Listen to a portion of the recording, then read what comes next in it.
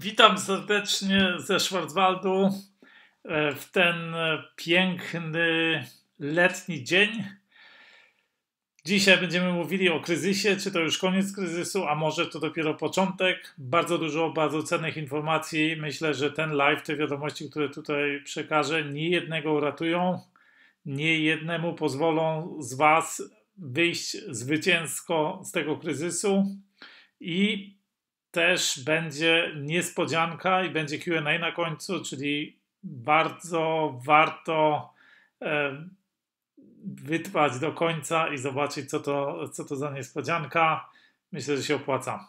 Więc tak, zacznijmy od e, tego, że od dłuższego czasu, no wiecie, że był, był lockdown i e, wiadomo, że w, lo, w lockdownie gospodarka stała i tak dalej. Wiele ludzi e, wiecie o tym, że ja od pierwszego dnia ostrzegałem, że zamknięcie gospodarki to jest ślepa uliczka i że to doprowadzi do wielkiego kryzysu na niespotykaną dotąd skalę.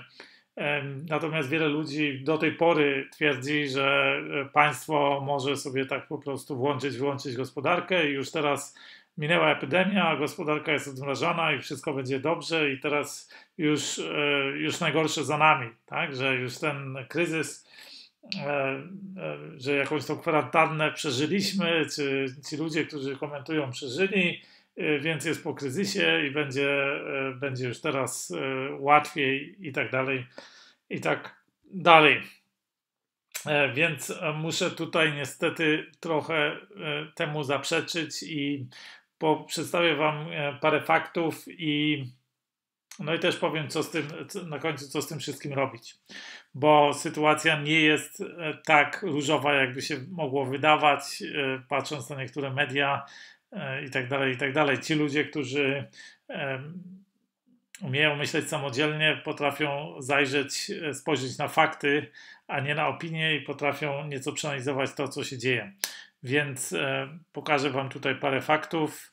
E, zacznijmy może od tego, że już pierwszego dnia Wam mówiłem, że właśnie taki interwencjonizm państwa to jest e, głupota i że to e, po prostu takie e, działanie dyrektywami prowadzi do tego, że będzie jedna dyrektywa za drugą. Wówczas jeszcze w ogóle e, była wtedy mowa w ogóle o tarczy antykryzysowej, a w międzyczasie jak wiecie, uchwalona została już tarcza antykryzysowa, antykryzysowa 4.0, czyli już czwarta tarcza antykryzysowa i mogę Was zapewnić, że będzie jeszcze e, dużo takich dyrektyw, może nie będą już się nazywały tarcze antykryzysowe, ale będą, będzie to łatanie dziur.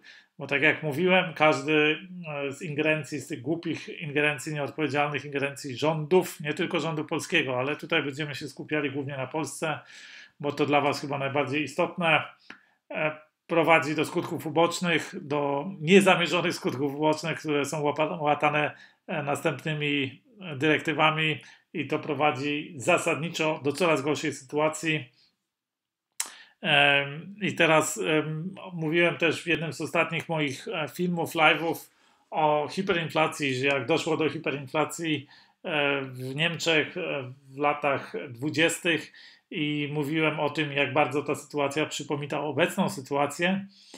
I pojawiły się niektóre komentarze, rzad, no, mało tak, takich było komentarzy, ale pojawiły się takie, też takie komentarze, że co ja tutaj porównuję Niemcy do Polski, teraz jest całkowicie inna sytuacja i w ogóle, i że w Polsce nie, nie dojdzie do, na pewno do hiperinflacji, że mamy nowe czasy i, i tam rząd może manipulować e, pieniądzem i tak dalej, i tak dalej. No i niestety chciałem powiedzieć, że naiwnym jest myślenie, że nie dojdzie do hiperinflacji w kraju, w którym w ciągu ostatnich 100 lat doszło już 4 razy do hiperinflacji. I pieniądze musiały zostać wymieniane. Jak wiecie, może nie wszyscy z Was tego doświadczyli, ale chyba w roku, w roku 94, poprawcie mnie, jeśli się mylę, w roku 94 po raz ostatni do tej pory e, pieniądze zostały wymienione, 4 zera zostały skreślone. Jak sobie policzycie, to jest 26 lat temu. Jak średnio co 25 lat w Polsce do hiperinflacji dochodzi, to już wyższy czas na kolejną hiperinflację. A tak jak przekazałem w tamtym filmie, sytuacja jest bardzo podobna. I teraz wpadł mi do, w ręce artykuł, tudzież taka zajawka, która potwierdza, jak bardzo ta sytuacja jest podobna, bo tam mówiłem o tym, że rząd po prostu kazał górnikom w Zagłębiu Rury czas, teraz mówimy o Republice Weimarskiej, o Niemczech w latach 20. E, rząd kazał górnikom zostać w domu, nie pracować dla okupowanych, znaczy na okupowanych wówczas przez Francuzów terenach, czyli w Zagłębiu Rury i zapewnił im, że mimo to będzie im płacił całą płacę. Znaczy, że oni nie muszą iść do, e, do kopalni, gdzie e, byli zatrudnieni przez właśnie E, przedsiębiorcę jakiegoś, który teraz ta kopalnia, te, te złoża są grabione przez jakby Francuzów. Nie, nie muszą iść, nie muszą pracować, ale żeby ich nie, żeby im szkoda żadna nie powstała, więc rząd będzie im płacił 100% pensji bez żadnych bez żadnej pracy, tak? I to doprowadziło tam w paru krokach do hiperinflacji, o tym będziemy, o tym mówiłem właśnie w tamtym filmie. I co czytam parę dni później, teraz niedawno, 12 czerwca, E, górnicy dostaną pełne w Polsce, to się dzieje teraz w Polsce, górnicy dostaną pełne wynagrodzenie za czas zamknięcia kopalni. Wiceminister tłumaczy. To znaczy, polski rząd zamknął kopalnię i też obiecał górnikom polskim, że będzie im płacił całą pensję e, za tego. Czyli nie, pozwala, nie pozwolił im chodzić do, do pracy, e, czy w jakiś sposób za, e, zlikwidował im pracę, ale e, drukuje pieniądze i im płaci za to. Czyli to dokładnie no, analogiczna sytuacja do tego, co się działo e, w Republice Weimarskiej. I teraz y, ja Wam mówiłem, że y, te wielkie skutki w ekonomii i tak dalej, nie tylko w Polsce, na, na całym świecie, we wszystkich tych krajach, które wprowadziły lockdown, no i oczywiście kraje, które nie wprowadziły lockdown, jak Szwecja, też są dotknięte, ponieważ no, jest utrudniony oczywiście handel z tymi krajami, które e, zablokowały swoją gospodarkę. No i oczywiście eksporty do tych krajów i tak dalej, i tak dalej. No ale spójrzmy, co się dzieje na świecie, tak, żeby uświadomić tym, którzy myślą, że, że kryzysu nie będzie, czy że, że nie ma kryzysu, czy że ten kryzys jakoś bokiem przejdzie. Pomówmy o tych krajach, gdzie ten kryzys jest naj, jakby bezpośrednio widoczny z tego względu, że oni nie mają opieki państwowej, czy rząd jakby nie ingeruje w tym stopniu w opiekę socjalną. I zaraz powiemy o tym, jak to będzie się miało do tych krajów, gdzie rząd ingeruje, e, gdzie jest takie państwo socjalne, jest budowane, kraje typu Polska czy, czy Niemcy. Ale zacznijmy od tych krajów bardziej wolnościowych. Zacznijmy od Wielkiej Brytanii, która, jak wiecie, wprowadziła lockdown i e, w e, i jego ekonomia Wielkiej Brytanii skurczyła się o 20%. To jest największy, e, naj, największy spadek, największa, to już nie tylko recesja, ale to jest wręcz depresja od czasów II wojny światowej. W niektórych, e, w niektórych gałęziach gospodarki, tak jak właśnie budownictwo, spadło nawet E, o 40%, e, znaczy produkcja w budownictwie. Ogólnie właśnie GDP, czyli po polsku gross product, gross domestic product, jak jest po polsku, produkt krajowy brutto, PKB. PKB w Wielkiej Brytanii spadło o 20%, to jest za maj, czyli w maju spadło 20%. To jest niesamowite, ale to nie wszystko. W przyszłym, e, w drugim, e, w drugim ćwierćroczu, czy jak to kwartał, w drugim kwartale ma spaść, aha, to jest co innego, to jest, e, to jest Stany Zjednoczone, w Stanach Zjednoczonych to jest jeszcze bardziej drastyczne. W Stanach Zjednoczonych produkt krajowy brutto w drugim kwartale ma spaść o 53%, o ponad połowę. I to nie mówi ktoś tam byle kto, tylko to mówi Fed, czyli no, e, Bank Centralny Stanów Zjednoczonych. 50, prawie 53% ma, spodziewają się, że, że spadnie PKB, czyli produkcja, można powiedzieć, kraju o ponad 50%. No to jest, e, to jest katastrofa. To oznacza po prostu połowę mniej, no w prostych słowach można by to w ten sposób przetłumaczyć, połowę mniej jedzenia na łebka, tak? Połowę mniej po prostu e, no, jedzenia, które można do ust włożyć. W Stanach Zjednoczonych na końcu maja liczba bezrobotnych e, wzrosła do 40 milionów. No to są zatrważające, to są no, zatrważające liczby. To są takie liczby, których nie było od czasów Wielkiej Depresji w Stanach, czyli właśnie od lat 20 E, niesamowite liczby i teraz e, można się zapytać, dlaczego e, w Stanach takie, takie wielkie bezrobocie, a w Polsce trochę mniejsze. O tym, jakie jest w Polsce, mimo że jest już bardzo wysokie w porównaniu z wcześniejszymi latami, ale dlaczego na, na razie w Europie to nie jest aż tak widoczne? No, powodem tego jest to, że w Europie są mechanizmy, gdzie przedsiębiorca nie musi zwalniać od razu pracownika, można go wysłać w Niemczech to się nazywa Kurzarbeit. Nie wiem, jak to się w Polsce nazywa, ale na taką jakby tymczasowe bezrobocie, można powiedzieć, nie tymczasowe, można, może go po prostu wysłać do domu i część jego, znaczna część w Niemczech, do 80% jego pensji jest płacona przez jakiś tam czas, przez 3 do 6 miesięcy i jest płacona przez państwo. W każdym, z tego co wiem, krajów Unii Europejskiej są tego typu rozwiązania i właśnie te polskie tarcze antykryzysowe też tego typu rozwiązania oferują. I dlatego ta, to bezrobocie w Polsce nie jest w tej chwili aż tak widoczne. W Niemczech e, szacuje się, że 20 milionów z, oś, e, z 8 e, jest 80 milionów mieszkańców. Z tego jest około powiedzmy 40 milionów e, pracujących czy zatrudnionych powiedzmy, czy powyżej 20 milionów i z te, e, e, powyżej 40 milionów i z tego 20 milionów jest obecnie na tym takim krótkoterminowym jakby bezrobociu, to, to nie jest nazywane oczywiście bezrobociu, oni zostali wysłani do domu i otrzymują pieniądze od państwa e, po to, żeby nie musieli zostać zwolnieni. No, ale to jest 20 milionów ludzi. Oprócz tego zwiększyło się też bezrobocie.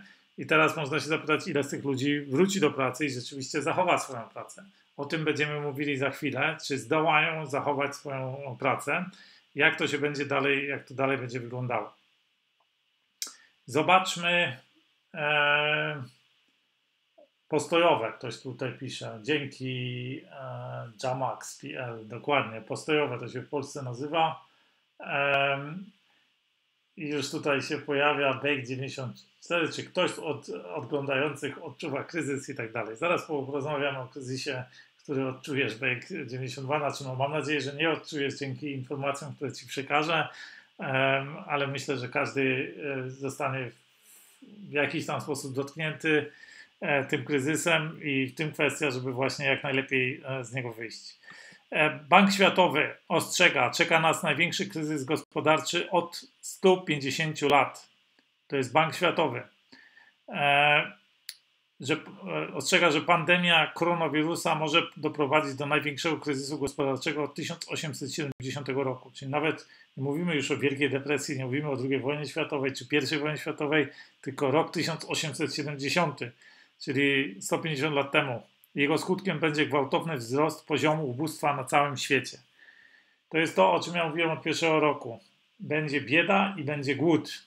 Może nie w każdym e, kraju w, ten, w tym samym e, wymiarze i nie dla każdego w tym samym wymiarze, ale zadbajcie naprawdę o to, żeby ten głód nie dotknął Was i, i Waszych rodzin. Żeby właśnie zrobić wszystko, żeby no żeby wyjść z tego obronną ręką, żeby wyjść z tego zwycięstwo. E, MFW mówi, to nie koniec wydatków na walkę ze skutkami pandemii. Dotychczasowe prognozy są zbyt optymistyczne. Globalna gospodarka jeszcze bardzo długo będzie wychodzić z kryzysu spowodowanego przez pandemię. Dotychczas czynione prognozy mogą się okazać zbyt optymistyczne. A 100 milionów ludzi może popaść w skrajne ubóstwo. 100 milionów ludzi może popaść w skrajne ubóstwo. Zaraz Pogadamy też o kredytach bezzwrotnych i tak dalej. Dobra, teraz. E, I teraz dla wielu wydawało się, że no, kryzys przeszedł jakoś rykoszetem, że to już po kryzysie i tak dalej, ale myślę, że nie jedna osoba, nie jeden ekonomista, nie jeden um, prognocysta um, z tych um, ludzi, którzy prognozują, zostanie zaskoczony. I tutaj już e, widzimy, zaczyna się. 23 czerwca, czyli sprzed tygodnia, informacja negatywne zaskoczenie. Spadek produkcji budowlano-montażowej większy od prognoz. Produkcja budowlana montażowa spadła w maju, teraz mówimy o Polsce, o 5,1% w porównaniu z majem ubiegłego roku podał we wtorek Główny Urząd Statystyczny. To spore zaskoczenie. Ekonomiści prognozowali, że spadek wyniesie 1,6%. No, czyli e, prognozowali, że 1,6, a wyniósł ponad 3 razy więcej. Sektor budowlany z opóźnieniem zaczyna odczuwać skutki epidemii i najprawdopodobniej najgorsze, najgorsze dopiero przed nim. Czyli widzimy, e, że w niektórych sektorach e, to dopiero, znaczy pewne opóźnienie tutaj nastąpiło, ale większość ludzi sobie nie zdaje sprawy z tego, w jak trudnej sytuacji jest przemysł, jest handel częściowo, już nie mówiąc o E, restauracjach czy, e, czy jakichś przedsiębiorstwach rozrywkowych. Dzisiaj czytałem artykuł, że największy cyrk świata, najbardziej popularny, Cirque du Soleil, e, zbankrutował i tysiące ludzi poszło na bruk, bo po prostu no, ich model biznesowy już obecnie w tej, w tej sytuacji nie działa. Ale poczytajmy o motoryzacji. Teraz mówimy tu o motoryzacji w Polsce. Produkcja w Polsce. Ciężkie czasy motoryzacji produkcja praktycznie stanęła. Tak fatalnych wyników nie było od dawna. W maju z zakładów wyjechało zaledwie 3,5 tysiąca aut, co oznacza spadek o 92%. Czyli ze 100 o 92%, 8% tylko normalnej produkcji obecnie działa. Pewnym pocieszeniem może być fakt, że wynik trochę lepszy niż w kwietniu. Czyli w kwietniu było jeszcze więcej niż 92%. Mm.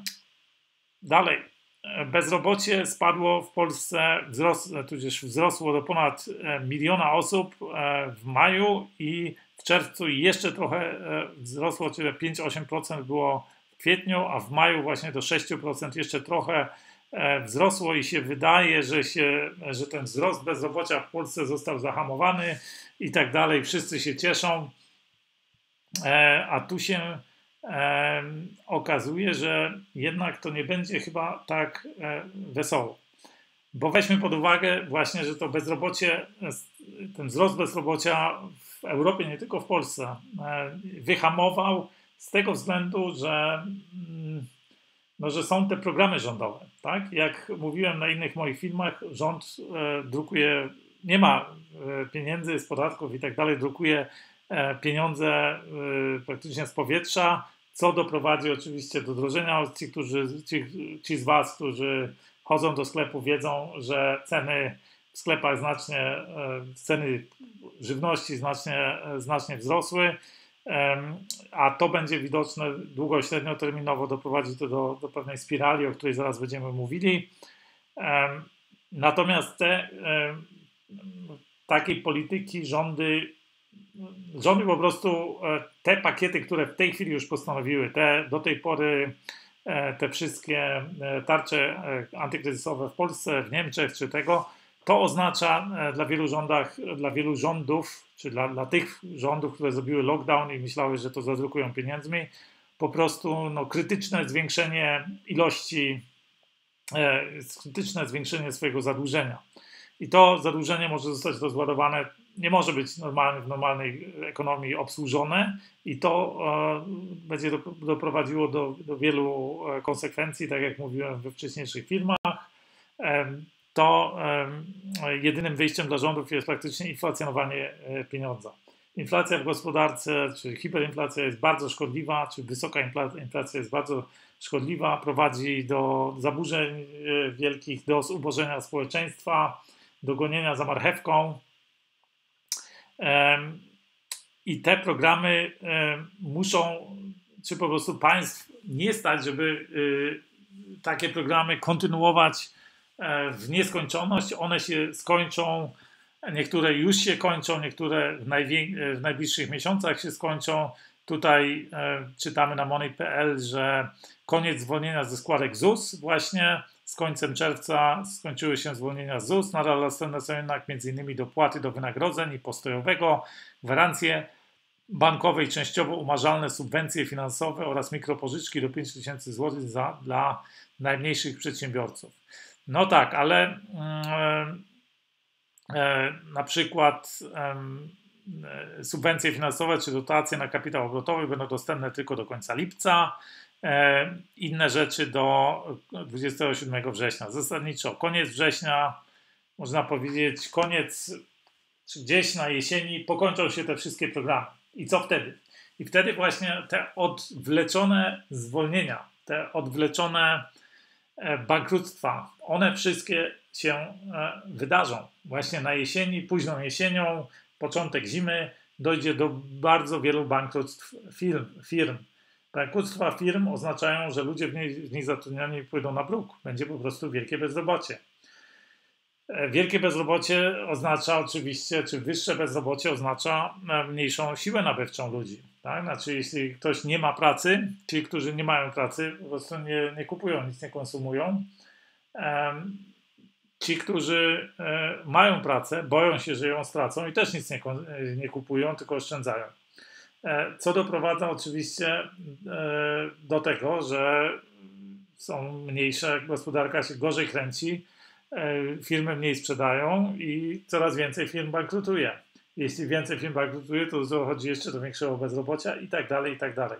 To jest nakręcająca się spirala. Oczywiście e, państwo będzie e, próbowało stymulować to e, coraz, coraz bardziej, właśnie i to może stymulować tylko właśnie zadrukowaniem coraz większej ilości pieniądza, e, czyli nakręcającą się inflacją. To, do, to będzie prowadziło do narastającego zubożenia i potencjalnych do tego jeszcze oczywiście zamieszek, bo zubożenie, oczywiście, że będą ludzie, którzy to nie jest tak, że nikomu nie będzie się wiodło w kryzysie i o tym właśnie mówimy. Po to ja te materiały robię, żeby powiedzieć Wam, opowiedzieć, co robić, jak robić, żeby sobie w tym kryzysie poradzić jak najlepiej. I i co robią najlepsi przedsiębiorcy świata? Co robią miliarderzy? Ludzie, którzy zostali miliarderami, którzy dziś są miliarderami, to są ci, którzy przeszli właśnie obronną ręką przez wszystkie kryzysy i z każdego z, z wcześniejszych kryzysów e, po prostu ten kryzys obrócili na swoją korzyść. E, I teraz e, do tego dojdzie jeszcze coś takiego jak rozwarstwienie społeczeństwa, bo będą ludzie, którzy właśnie, tak jak mówię, będą sobie lepiej radzili z tym kryzysem i będą tacy, którzy będą tylko reagowali, będą, tak jak zwykle, większość ludzi jest po prostu chorągiewką na wietrze i um, będą liczyli na zapewnienia rządów, e, będą liczyli, że na pomoc rządu, że ktoś im pomoże, że oni jakby e, no, nie muszą podjąć działania, że tam pakiety jakieś 500 plus, 1000 plus, czy wie co tam jeszcze wymyślą politycy, że to wszystko pomoże im e, jakoś wyjść obronną ręką z tego kryzysu. No i oczywiście to będzie prowadziło do ich zubożenia. Czyli będzie się rozwarstwiało społeczeństwo, będzie się powiększała luka między tymi, po prostu co, będzie bardzo dużo ludzi, którzy wpadną w skrajną, w skrajną biedę, w ubóstwo po prostu i to doprowadzi do, czy prowadzi zasadniczo do zamieszek społecznych, do niepokojów społecznych, E, no i to, to jest jakby dodatkowy taki wymiar kryzysu, który może się pojawić, miejmy nadzieję, że się nie pojawi. Natomiast nie zapominajmy o jeszcze jednym aspekcie, bo koronawirus oczywiście nie znikł. E, są kraje, które, e, tak jak Szwecja, poszły na strategię że społeczeństwa, poszły, a są kraje, które wprowadziły lockdown i myślały, że koronawirus zniknie, że oni w jakiś sposób będą w stanie E, ten koronawirus opanować, go zdławić, czy za tego. Tutaj też czytałem w niektórych komentarzach, że no, państwo dobrze robi, bo tam e, ten wirus e, zniknie, go wygłodzi wirusa, czy coś takiego. No ale jak widać, tak się nie stanie, tak się nie stało i tak się nie stanie. Wirus pozostanie z nami.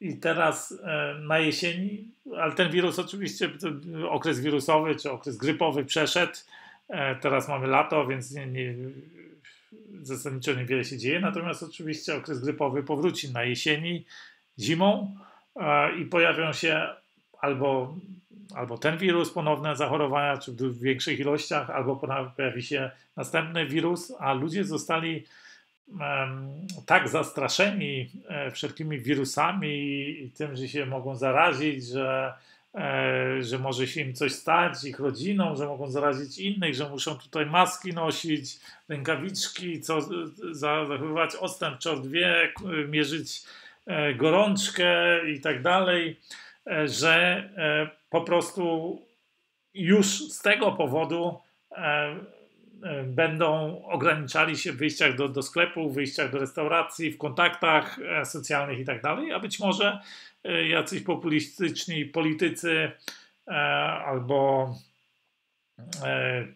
totalitarni z, z totalitarnymi ciągotkami, tak jak to było, jak widzieliście podczas lockdownu, E, uznają to za, za dobrą okazję, żeby wprowadzić jeszcze więcej zaostrzeń, jeszcze większy zamordyzm, jeszcze, jeszcze większą kontrolę nad e, społeczeństwem, inwigilację być może i tego typu rzeczy. I to oczywiście będzie powodowało panikę i dodatkową, która będzie dodatkowo krępowało gospodarkę i oprócz tego ta panika też będzie osłabiała dodatkowo gospodarkę. Więc ten kryzys e, poprzez tą nakręcającą się spiralę jest dopiero przed nami i to dopiero, dopiero go odczujemy, jak um, po prostu państwo. Miałem tutaj artykuł przygotowany, ale go nie mogę znaleźć. Um, je, kiedy. Chwila, chwila. Mam na siebie. E, kiedy państwo, e, po prostu budżet państwa już zostanie tak osłabiony, bo w tej chwili właśnie w tym artykule e, było, że polskiego państwa budżet, tudzież przychody do państwa polskiego tam spadły chyba o 50%, o połowę, nie?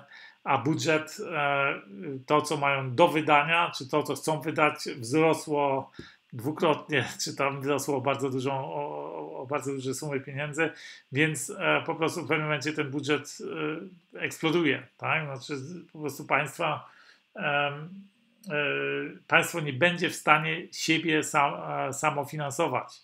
E, tudzież będzie w stanie tylko poprzez, poprzez hiperinflację, tak jak to było, nie wiem, w PRL-u robione. I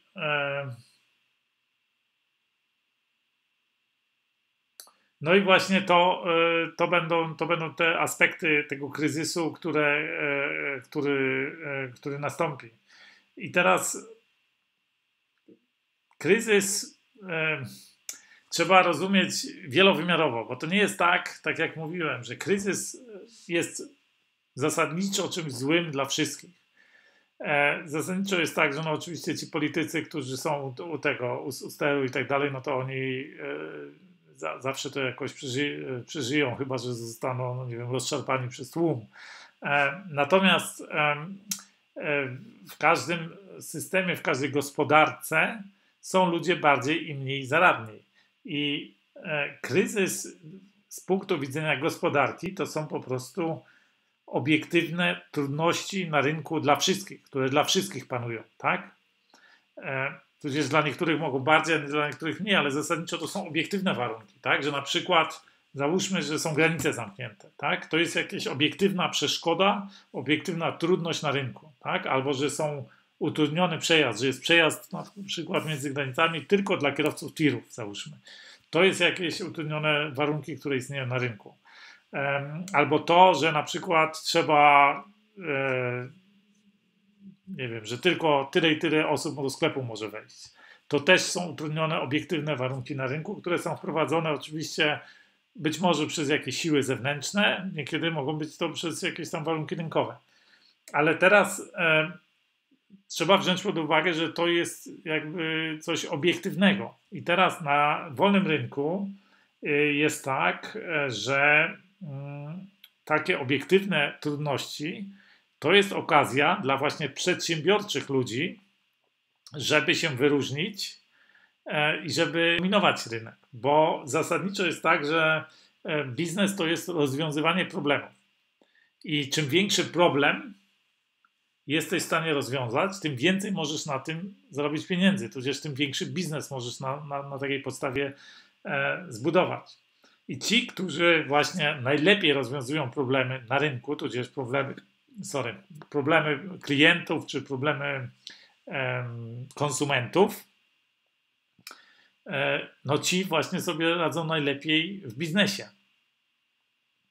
I właśnie miliarderzy opanowali taką umiejętność, umiejętność rozwiązywania problemów, tudzież umiejętność jakby wyróżniania się w ciężkich warunkach, czy wykorzystywania tych ciężkich warunków, znalezienia jakby metod, żeby te ciężkie warunki w jakiś sposób obejść, czy znaleźć rozwiązania na te ciężkie panujące warunki i w ten sposób, e, żeby zdominować rynek.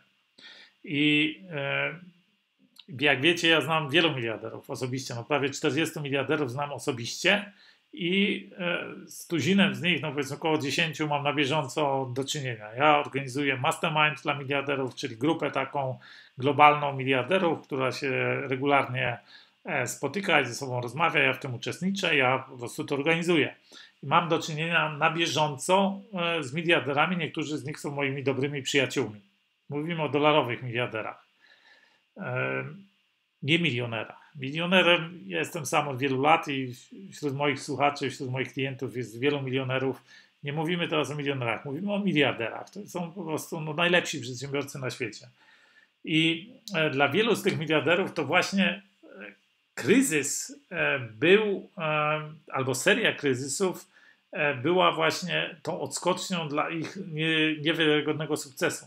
To znaczy oni dostrzegli w tych wszystkich kryzysach, które tam przeszli, na przykład kryzys roku 2008, czy tam kryzys 95 w Azji, e, czy e, dotcom e, bubble i tak dalej, tudzież dotcom crash w 2000, 2001 roku, te wszystkie kryzysy, które były, albo w Rosji też były kryzysy i tak dalej, w różnych rejonach geograficznych, w różnych okresach, oni w tych kryzysach właśnie dostrzegali szanse, tudzież dzięki tym kryzysom właśnie dokonywali przełomów. Tam, gdzie inni sobie nie radzili, oni znajdowali możliwość, jak e, rosnąć w tych kryzysach, jak się rozwijać, e, jak e, w zasadzie właśnie wygrywać kryzysy. Można to w ten sposób powiedzieć. Kryzys można wygrać. I mm, teraz jak to zrobić?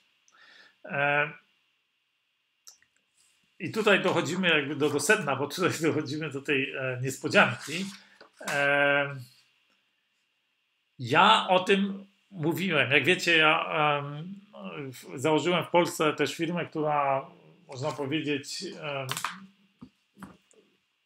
przekazuje wiedzę e, miliarderów na polskim, na polskim rynku, tudzież dla polskojęzycznej społeczności przedsiębiorców i założyłem też, przed, wystartowałem przedsięwzięcie, gdzie chcemy stworzyć miliardową wartość dla, znaczy chcemy zbudować najlepszy e, ekosystem wsparcia dla przedsiębiorców, który właśnie przekazując wiedzę miliarderów pomoże im w zbudowaniu miliardowej wartości. I e, były też, odbyły się warsztaty dla pierwszych śmiałków, które, którzy E, właśnie e, przyłączyli się do, do tej misji i których wzięliśmy jakby pod ręce, czy e, pomogliśmy im, czy zaczęliśmy im pomagać, czy ich wspierać w dążeniu właśnie do realizacji swoich wielkich celów, głównie w biznesie. I właśnie dla tych ludzi zrobiliśmy dodatkowo, oprócz jako bonus, E, coś takiego e, przygotowaliśmy.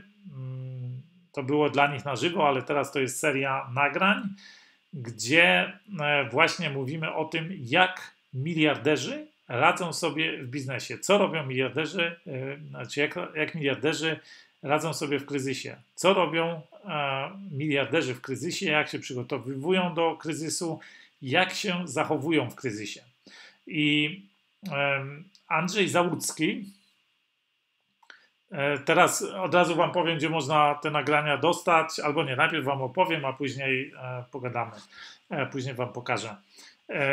więc Andrzej Załucki, który jest moim wspólnikiem, jest no, prezesem mojej firmy Billion Dollar Enterprises w, Pol w Polsce. Andrzej Załucki jest od 24 lat współpracuje z Michałem Sołowowem, z najbogatszym Polakiem na kierowniczych stanowiskach. On prowadził parę jego firm, e, parę firm e, Andrzeja Sołowowa i obecnie jest prezesem też e, Fundacji Michała i Karoliny Sołowow. I Andrzej Załucki jest też prezesem mojej firmy. I Andrzej Załucki właśnie w jednym z nagrań, to jest seria nagrań, w jednym z nagrań Andrzej Załucki właśnie opowiada czy przedstawia, to jest tam e, zorganizowane w szczegółach, jak Michał Sołowow, jak firmy Michała Sołowowa e, działały, jak się zachowywały w kryzysie roku 2008-2009. To znaczy w tym ostatnim kryzysie finansowym, jak firmy właśnie się do niego przygotowały, jakie były, jakie poczyniły tam kroki i tak dalej, żeby sobie z tym kryzysem poradzić. Jak wiecie, Michał Sołowo właśnie także nie tylko, że sobie poradził z kryzysem 2008 i 2009 roku, ale wyszedł z tego e, no, zwycięską ręką i dzięki temu stał się miliarderem też, a dziś jest najbogatszym Polakiem. Michał Sołowow, tak a propos, jest też e, w tej książce i to jest um, Umysł miliardera. E, I to jest też, e, to był mój zresztą e, pierwszy miliarder, którego poznałem i z którym zrobiłem wywiad. Natomiast ja opowiadam z jednej strony, znaczy ode mnie jest, są dwa nagrania w tym, w tym pakiecie. Na jednym z nagrań opowiadam, jak ja osobiście się przygotowa przygotowałem do tego kryzysu, do obecnego kryzysu ze strony finansów osobistych i ze strony biznesowej. To znaczy pod względem właśnie e, jak zdywersyfikowałem, jak w co inwestuję i tak dalej. A druga rzecz, e, jak się biznesowo przygotowałem. Tak? To znaczy co, jak przygotowałem swoje firmy, firmy, przedsięwzięcia, jak to wygląda i dlaczego i tak dalej, i tak dalej. To jest jedno. E, nagranie, natomiast w drugim nagraniu przedstawiam świeżutką wiedzę właśnie od tych miliarderów, z którymi obecnie mam do czynienia, co oni obecnie, w tym obecnym kryzysie dokładnie, co robią, czego się spodziewają i co kiedy, jaki timing mają.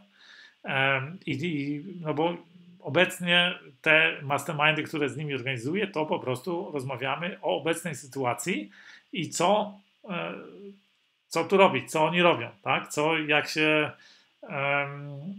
jak ustawiałem swoje firmy, żeby wyjść z tego kryzysu zwycięsko, żeby nie tylko poradzić sobie z kryzysem, ale żeby wykorzystać ten kryzys, e, żeby wyjść nie, nie, nie tylko obronną ręką, ale na wozie, tak? wyjechać jako e, zwycięzca z tego kryzysu.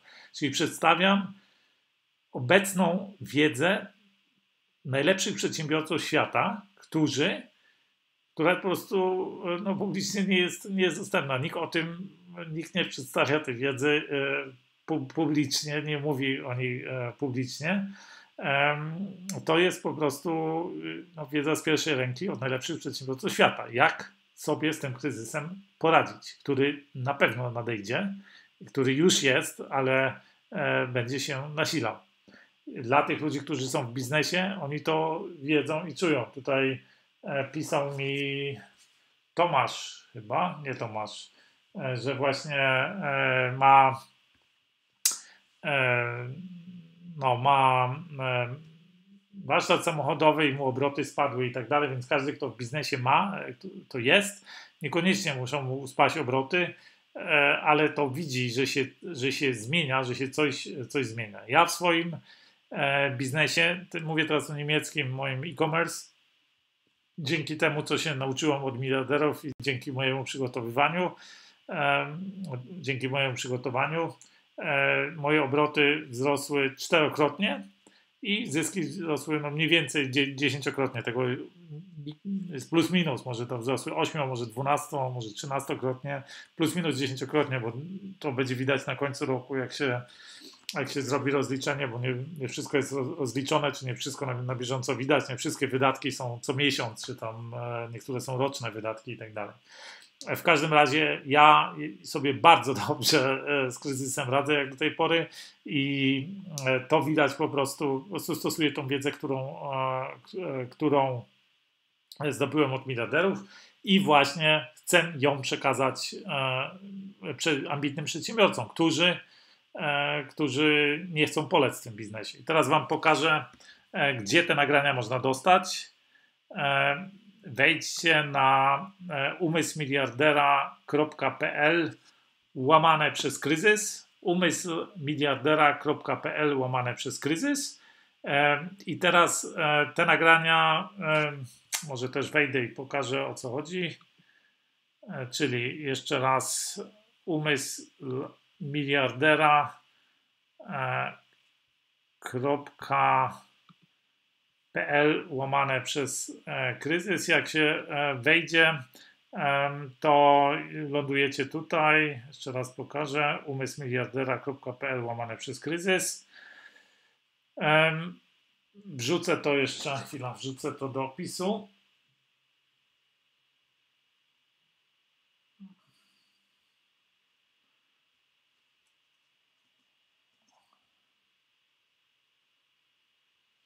Umysłu miliardera. Dobra. Wrzucę tylko do opisu filmu, żebyście mieli pod na dole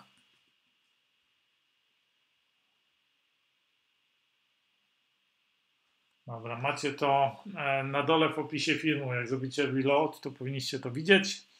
I teraz e, to są, tak jak mówiłem, e, trzy nagrania e, i no i tam bardzo dużo rzeczy jest, bardzo dużo szczegółów, właśnie strategie miliarderów w kryzysie, w co inwestują miliarderzy, jak ustabilizować swoją firmę, właśnie jak szanse inwestycyjne rozpoznawać tak jak mówiłem, e, pierwsze wideo to jest e, przez e, to jest przez Andrzeja zrobione, Andrzeja Załuckiego, który 24 lat no, na kierowniczych stanowiskach pracuje dla Michała Sołowowa i on właśnie tam w tym wideo podaje dokładnie jak, co firmy Michała Sołowowa E, robiły w tamtym kryzysie, w ostatnim kryzysie, jak koszty minimalizowały, jak e, produkcji, jak redukowały koszty związane e, z zatrudnianiem, jak, jak tam o finanse dbały, jak analizowały rynek i tak dalej, i tak dalej. Tam jest bardzo dużo szczegółów. Ja mówię, mówię o tym, jak właśnie się przygotowywałem do kryzysu aktualnego, czy jak się przygotowałem do aktualnego e, kryzysu w zakresie biznesu i finansów osobistych. No i moim zdaniem najważniejsze wideo to jest trzecie. E, to tam mówię o co obecni miliarderzy dokładnie robią, jak patrzą na ten kryzys, jak reagują na niego, jak w co zamierzają e, inwestować, jak ustawiają swoje firmy i tak dalej, i tak dalej. E, ale no, to jest głównie dla wiedza dla przedsiębiorców, dla ambitnych ludzi. Jaka cena, znaczy dla ambitnych ludzi, którzy po prostu chcą sobie poradzić w tym kryzysie. I teraz, tak jak mówiłem, e, będzie większość, większość ludzi, większość przedsiębiorców bardzo negatywnie odczuje ten kryzys, ale będą tacy, którzy właśnie na tym kryzysie E, się dorobią na tym kryzysie, to będzie dla nich przełom. I życzę Wam tego i chciałbym, żeby to właśnie dla Was, żebyście wy byli tymi ludźmi, dla których ten kryzys będzie przełomowy i z którym, e, na którym Wy zbudujecie e, swoją, swoją markę, swoje przedsiębiorstwo, z którego Wy wyjdziecie obronną ręką i nie tylko obronną, ale właśnie zwycięską i, i no, zbudujecie wspaniałe, wspaniałe przedsiębiorstwa i po prostu zwyciężycie i zbudujecie swoją przyszłość na tym. I teraz jaka jest cena? E, ta cena będzie 997 zł. Z tym, że dla Was dzisiaj, znaczy mamy promocję. Zaczęliśmy cenę od 497 zł, czyli od połowy, można powiedzieć od połowy tej ceny i ta cena przy każdym zakupie, jak ktoś kupi, to zwiększa się o 5 zł. Czyli cena rośnie z każdym zakupem i od czwartku, e, od czwartku, i to jest cena w ten sposób do końca czwartku, od czwartku, od piątku, można powiedzieć, cena już będzie, skończy się promocja i cena będzie 997 zł. Teraz można powiedzieć, niektórzy mogą powiedzieć, że to dużo czy tam mało. E, zasadniczo to jest, ten, to jest wiedza miliarderów. To nie jest jakaś tam wiedza darmowa e, albo wiedza milionerów, jakichś przedsiębiorców biznesowych. To jest wiedza najlepszych przedsiębiorców świata. Albo w tej części tutaj e, wiedza najbogatszego Polaka. To, są, to jest wiedza tych najlepszych ludzi, z, który, e, z którymi możecie sobie wyobrazić jako przedsiębiorców. E, wejdę tutaj jeszcze na chat. Co jeszcze? Co jeszcze chciałem powiedzieć? Przypominam, umysłmiliardera.pl łamane przez kryzys. Tutaj można kliknąć, dodać do koszyka. E, zobaczmy, ile teraz wrócę. Zaraz zrobimy jeszcze jakiś, um, zrobimy jakiś QA, ale póki co, chwila. Zobaczę, jak tam, a, czy y, są zamówienia. O, widzę, że jest kilka już zamówień, już cena trochę wzrosła, już nie jest 497 zł. To jest szansa dla szybkich ludzi. Kto, e, kto, e, kto szybszy, ten lepszy. E, czym szybciej się zdecydujesz, tym taniej ta wiedza będzie dla Ciebie dostępna. Ale teraz chciałbym tutaj przejść właśnie do czatu. Chwila, bo muszę, trochę zgubiłem teraz film. Przejdę do czatu. Główna. To jest. Dobra. I odpowiem może na e, Wasze pytania. Rafael, czy w nagraniach będzie o krypto? Będzie trochę o krypto, ale nie, e, jakby na pierwszym planie. Tak? My tu mówimy zasadniczo o e, biznesie, o ten. Inwestycje są dużą częścią, ale i krypto jest jedną z części, ale to nie, nie będzie tak, że ja tam będę dużo o krypto mówił. Jest też o krypto. E, czy dolar upadnie, będzie cyfrowy, a może nie będzie dolara, jakie są ku temu przesłania. Od jesieni może być krucho z krypto. No, nie sądzę. Ja myślę, że raczej nie. E, wręcz przeciwnie, myślę. E, dwa słowa na temat przewidywania rynka, rynku krypto i BTC. No, tutaj się nic nie zmieniło. Myślę, że jesteśmy teraz w takiej fazie, gdzie jest ostatnia jeszcze szansa, żeby kupić bitcoina poniżej 10 tysięcy. Jak będziemy rozmawiali za pół roku, za rok, najpóźniej, to myślę, że wielu, w wielu komentarzach e, będą komentarze tego typu, że szkoda, że nie kupiłem za 9 albo że jakby teraz był e, po 10 tysięcy, to bym od razu kupił ile wlezie. E, czyli takie będą komentarze. Czemu niektóre firmy deweloperskie mają rekordową liczbę sprzedanych mieszkań? No, no to jest w oczekiwaniu obecnie inflacji, tak? Ludzie, niektórzy obecnie po prostu chcą się pozbyć gotówki przed hiperinflacją, to jest przed inflacją. E, dobra, warto teraz e, wchodzić na GPW, czy poczekać dłużej? No to jest, odpowiedź na to jest właśnie w nagraniach. A parę miesięcy temu zacząłem, czyli w tym produkcie masz tam odpowiedź na to i to e, jakby no, nie tylko jakby z mojej perspektywy, ale z perspektywy miliardera uzasadnioną. Parę miesięcy temu zacząłem prowadzić firmę i odkryłem niszę a, powiązaną bardzo z tym, co prowadzę. Duży potencjał zysku, ale dużo większe ryzyko czy Twoim zdaniem warto ryzykować na, począt, na początkach, czy nie? E, ja myślę, że na początku powinieneś, znaczy zasadniczo powinieneś podejmować ryzyko. Przeczytaj, jeśli nie czytałeś tej książki, to przeczytaj ją dobrze, ale nie głupie ryzyko. Natomiast na początku nie masz nic do stracenia. Na początku możesz podejmować największe ryzyko. E, nie ma, nie ma powodu, żebyś nie podejmował. Nie masz nic do stracenia poza swoim czasem, inwencją i tak dalej. Nawet wręcz przeciwnie, nawet jeśli przegrasz, jeśli to nie wyjdzie, tak, e, żeby coś, coś byś robił przez rok, nawet dwa lata, e, to to doświadczenie, które zdobędziesz, tyle ci da, że w następnym tym będziesz po prostu wymiatał, tak? Nie, nie czaj się, nie czekaj, tylko działaj i podejmuj, podejmij to ryzyko. No, nie ma nic do stracenia. Łukasz Zając pisze, że przeczytał Atlas Zbuntowany. Świetna książka, dzięki za polecenie. Dokładnie, polecam jeszcze raz, bo to, co się dzieje, teraz Łukasz możesz potwierdzić. To, co ja mówiłem, e, ile tam, dwa, trzy miesiące temu, e, to jest dokładnie to, co się dzieje i to będzie się pogłębiało i tam dokładnie to jest w tej książce opisane, jak to będzie się rozwijało i do jakich skutków ubocznych i nieprzewidzianych konsekwencji e, te działania rządów będą prowadziły i mm, no i jak właśnie sobie E, jak radzić sobie jako przedsiębiorca e, z taką sytuacją, z takim światem, tak? W ogóle jako człowiek. Czy kupować złoto przez internet, rezygnując z anonimowości, czy jednak szukać na żywo? No ja myślę, że jest dużo możliwości anonimowego kupowania, szczególnie w Polsce, w Niemczech to obniżyli tylko do 2000 euro anonimowo, czyli tylko poniżej uncji trochę, więc e, e, trochę powyżej uncji więc to jest w Niemczech utrudnione, ale w Polsce, z tego co wiem, chyba do 40 tysięcy złotych, tak? czy do 10 tysięcy euro można anonimowo kupować, więc nie ma powodu nie robić tego anonimowo, tylko oczywiście y, no, w, w jakichś profesjonalistów, tak, że tam można przetestować to złoto i tak dalej.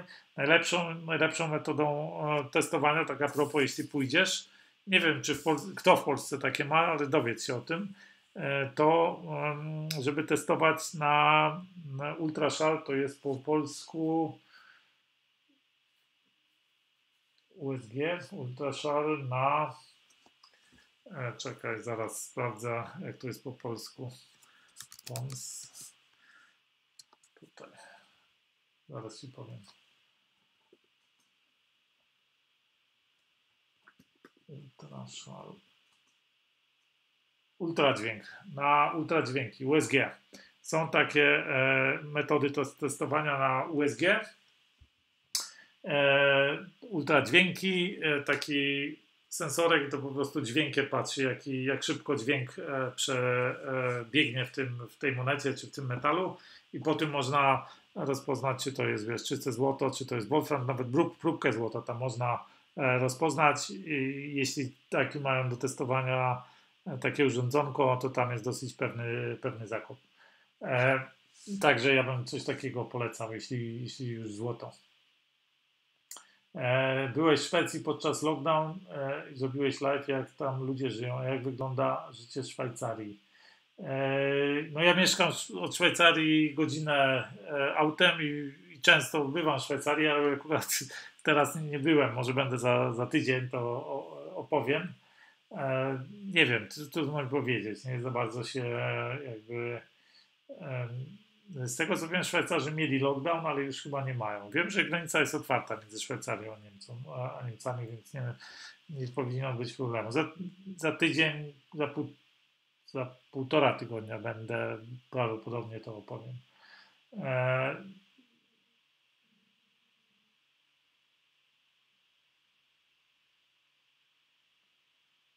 No, tutaj ktoś pisze do MV właśnie, to ty przecież musisz to określić, nie, podda, nie podajesz kompletnie nic, czegoś na odpowiedź. nie, jak nie spróbujesz, to będziesz żałował, że nie spróbowałeś. Dokładnie. Dokładnie. Hmm.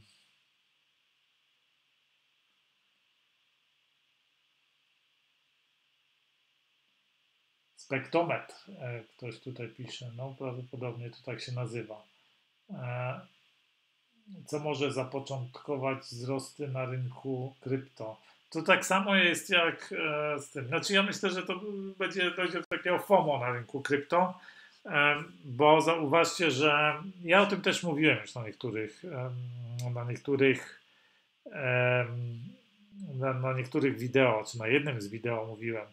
Ja myślę, że mm, znaczy jest parę funduszy. Jest jeden wielki e, fundusz Grayscale, który którzy już parę miliardów zainwestowali w bitcoina i z tego co wiem, to oni obecnie skupują więcej bitcoinów niż e, jest produkowanych bitcoinów. To znaczy, że skupują nie tylko od minerów już, ale też już z rynku poza minerami. I teraz wystarczy, że dojdzie do takiej dywergencji e, bitcoina i giełdy, załóżmy. I teraz taki fundusz opublikuje swoje wyniki albo wypłaci nawet jakąś dywidendę dla, dla tych, dla inwestorów i no, wiek, y, bo to, to są już inwestorzy instytucjonalni, którzy tam inwestują, albo takie home offices, miliarderzy i tak dalej. I teraz wystarczy, że coś takiego zrobi, no i wtedy e, rozejdzie się fama, albo inwest, tutaj można inwestować w giełdę i tracimy, albo inwestujemy e, w coś takiego poprzez takie tego typu fundusze i tutaj mamy no, wielkie zwroty. Nie? E, I wtedy dojdzie do, do, do tak zwanego FOMO, Czyli e, no, kto pierwszy, ten lepszy, tudzież e, taką strach przed tym, że się nie zdąży. Tak? I to może, to może być taka jedna iskra, która może dojść.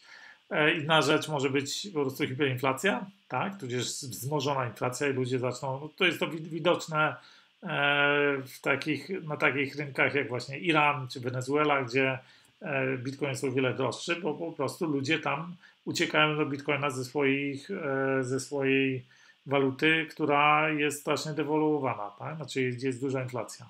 I to samo będzie, jak dojdzie na przykład do hiperinflacji na dolarze albo chociażby na złotówce, no to też będzie to, to w Polsce e, widoczne. Ale póki jest to, są to małe rynki, jak Wenezuela, Iran, to jeszcze pół biedy, ale jak dojdzie na takim dużym rynku, jak na przykład Stany Zjednoczone albo globalnie, no to wtedy jest e, wielki efekt, wielki boom. E, to jest e, druga rzecz, która może być takim e, jakby punktem zapalnym. Trzecim punktem zapalnym, który też może doprowadzić do czegoś takiego, to jest jeśli na przykład jakiś bank centralny zacznie inwestować w bitcoina, żeby się tak ubezpieczyć, takie ubezpieczenie przeciwko dolarowi, powiedzmy. To nie musi być duży bank centralny, mały bank centralny i jeden tylko wystarczy. No to wtedy się zacznie efekt lawinowy tak? A jak banki centralne, banki centralne inwestują małych sum, to już będą bardzo konkretne sumy.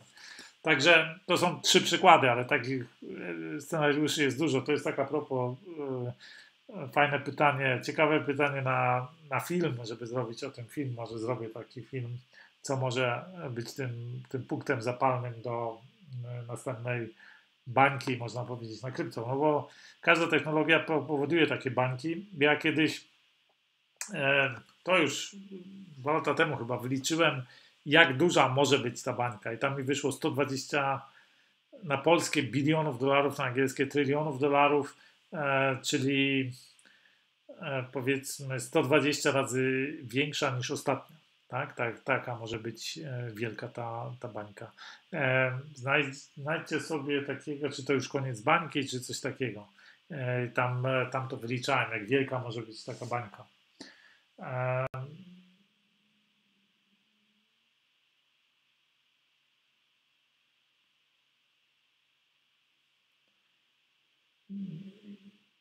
Widzę, tutaj Tomasz mówi, że widzi niebieski ocean na rynku Polska, Czechy, Słowackia, Węgry, Ukraina, Rumunia, Mołdawia, Litwa, Łotwa, Estonia, gdzie powinienem założyć działalność, organizacja ma działać w necie.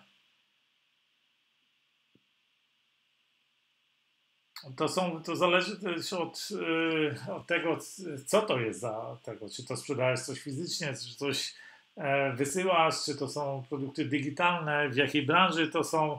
No to jest bardzo od tego zależne, tak? Też są zależne e, rzeczy od tego, w jakim ty kraju mieszkasz, w jakim kraju masz rezydencję podatkową, e, jakimi językami mówisz, czy radzisz sobie na przykład z cyrylicą, bo na Ukrainie masz cyrylicę, tak?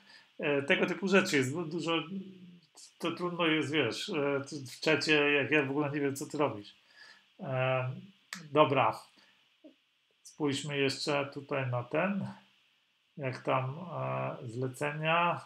No widzę, że się jeszcze trochę więcej posypało, już przekroczyliśmy tutaj cenę 600 zł, ale w dalszym ciągu jest znacznie cena powyżej, poniżej 997 za którą to cenę 997, tak? 997, za którą to cenę będzie od piątku sprzedawane, więc kto pierwszy, ten lepszy. E, to jest naprawdę cena, to jest naprawdę bardzo cenna, e, cenna wiedza.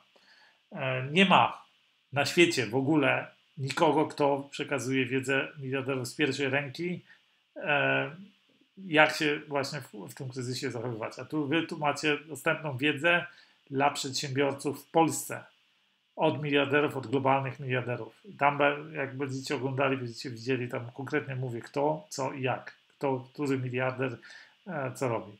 E, także e, no, rewelacyjna sprawa. Dobra.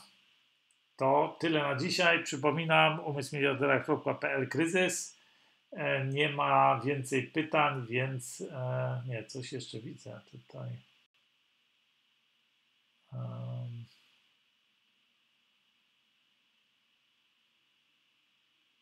Czy był przełomowy moment, robię tutaj rzeczy ponadprzeciętne, czy, e, czy był przełomowy moment, czy zawsze taki byłem.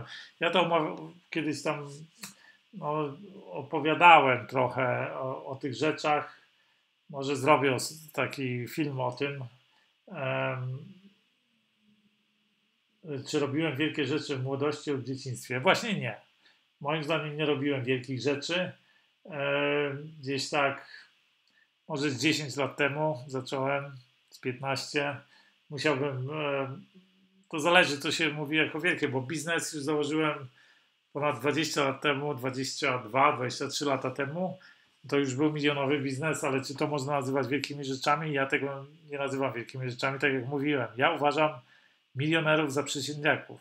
Za, to jest e, miernota biznesu. Tak? Ja uważam siebie, uważałem siebie, będąc milionerem, w dalszym ciągu jestem milionerem, bo wielokrotnym. Tak? W, tym, w tym roku jakieś 20 milionów obrotu zrobimy tu w tej niemieckiej firmie. Ja jeszcze mam parę innych, ale tutaj o tej mówię. 20 milionów obrotu, mimo to, to nie uważam tego za sukces. Sukces w biznesie to jest to, co robią miliarderzy. Są najlepsi przedsiębiorcy świata. Tak?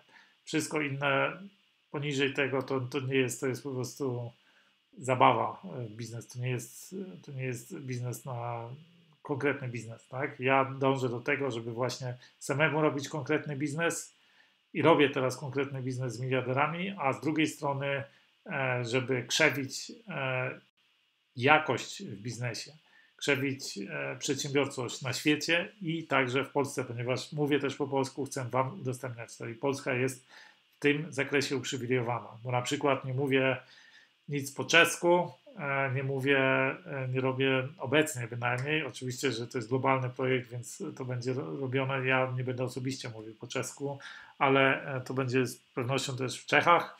Natomiast no, Polska jest o tyle przywilejowana, że ja, ponieważ mówię po polsku i zacząłem, założyłem pierwszą filię w Polsce tego, tego przedsięwzięcia więc e, korzystajcie z tego, że jesteście pierwsi na świecie, że, e, że macie tą przewagę nad, nad innymi, tak? Bo tu, my tu mówimy nie tylko o jakichś tam polskich przedsięwzięciach i tego, tylko mówimy zawsze o międzynarodowych, globalnych e, przedsięwzięciach zasadniczo. Ja działam globalnie. Moi miliarderzy, ten książkę napisałem po angielsku, wydałem ją globalnie. Ona jest w tej chwili w drodze 14 wydań językowych. Niektóre już są wydane, niektóre jeszcze nie są wydane, ale w tym roku będą wydane. E, już jest 14. To jest całkowicie inny poziom niż napisanie e, po polsku czegoś i wydanie w Polsce, tak jak to macie zwykle do czynienia z ludźmi, którzy wam mówią, że bestseller napisali, tak? E, to jest jeden lokalny mały rynek. To nie jest, e, to nie jest nic wielkiego u siebie, e, no, no, siebie na swoim rynku książkę napisać i wydać i jeszcze, no i żeby była bestsellerem, znaczy i ją dobrze sprzedać, tak? Całkowicie co innego jest dotrzeć globalnie do, do ludzi i jeszcze ją tak napisać, żeby ona stała się globalnym bestsellerem. To jest całkowicie inna, inna gra, całkowicie inna liga. To jest tak jak liga podwórkowa, powiedzmy Champions League. I w biznesie jest podobnie.